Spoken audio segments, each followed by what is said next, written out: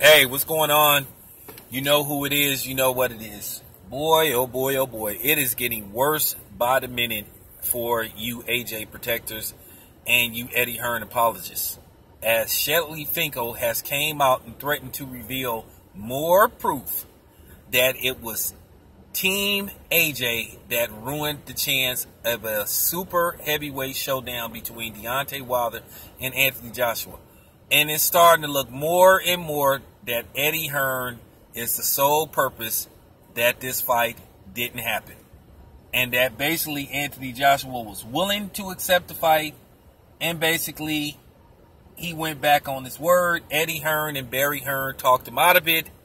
And basically, Anthony Joshua has came across as looking like the most dumbest man on the face of the earth. You know, Eddie Hearn been lying to the fans in the UK. He been lying to the public, period. That's why he had that carefully constructed, you know, press conference, basically so people wouldn't ask him any tough questions. You know, I'm gonna tell you something. Eddie Hearn. Eh, I'm gonna do a separate video about any fighter that wants to sign with Matchroom because Eddie Hearn deserves a solo video we've been telling you about Shelly Finkel and his resume for years. Shelly Finkel been part of putting together some of the biggest fights in history. Real talk. But you had all these clowns that think they know what they talking about, that think they know boxing, don't know what the hell they talking about. Just was making videos just to be making videos. Well, Blue Blood put the video out further exposing Eddie Hearn and Anthony Joshua the LDBC has knocked this out the park. I mean, this is some Barry Bonds shit we didn't did.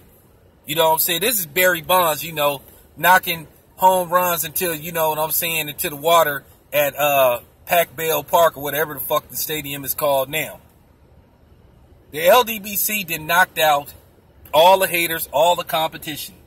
All these people that was putting out these fake anti-LDBC don't know what they talked about. Uh, sub chasing clowns. I've been on it from the jump. Seven eight been on it.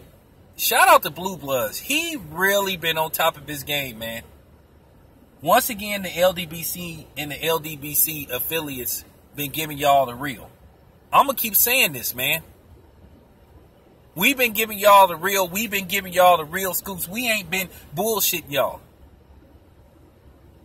You know what I'm saying? While you had a lot of these clowns that was twisting and turning our words. You know what I'm saying? But all that didn't happen in the long run. They didn't kill their credibility. They didn't make fools out of themselves. Like I say, keep listening to the for real. Keep listening to them idiots, man.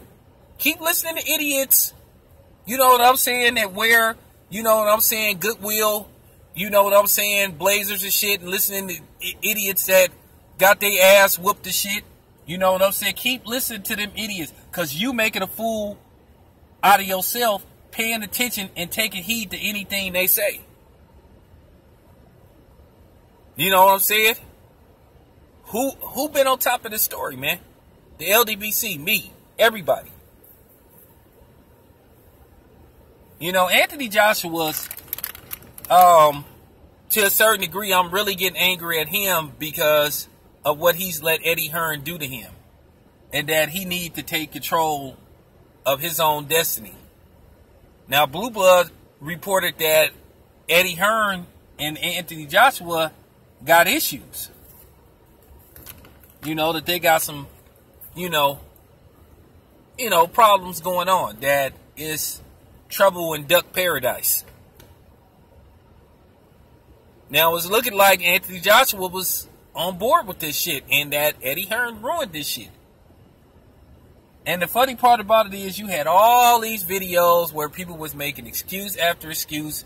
And you, like I said, you had all these clowns, you know, making excuses, you know, idiots making videos about uh, Floyd fought people who who he had longer arms than and all that type of shit who they completely made idiots out of themselves. The LDBC is winning. You know what I'm saying? Y'all need to take y'all L, man. once again, man, um, I'm really pl- proud of Blue Blood Sports, man, because he did his thing, man. He really been knocking this shit out the park, man. He been on this shit. And like I said, Eddie Hearn, is only so much running he could do in maneuvering, because eventually Eddie Hearn gonna have to bring his ass out here. You know what I'm saying? Hopefully, I'll run into him so I can grill him and ask him, why have you been lying to the public and deceiving the public? Making it look like you guys went out of y'all way to make this fight when in fact it was the other way around. And see, they still, and, and I'm gonna tell you something. I know Anthony Joshua is somewhere like, man, he probably sitting up like, man, this dude Eddie Hearn just made me look like a straight up chump and a coward that can't speak for himself, which basically he can't. If Anthony Joshua really would sit back and realize what Eddie Hearn has done to his reputation and his career, he should be lawyering up trying to get the fuck off of matchroom boxing and DAZN. He should, uh, you know what I'm saying? Eddie Hearn did told a pack of lies. This is more proof that Anthony Joshua don't make no 20 million per fight. And that people are not beating down the door to see Anthony Joshua.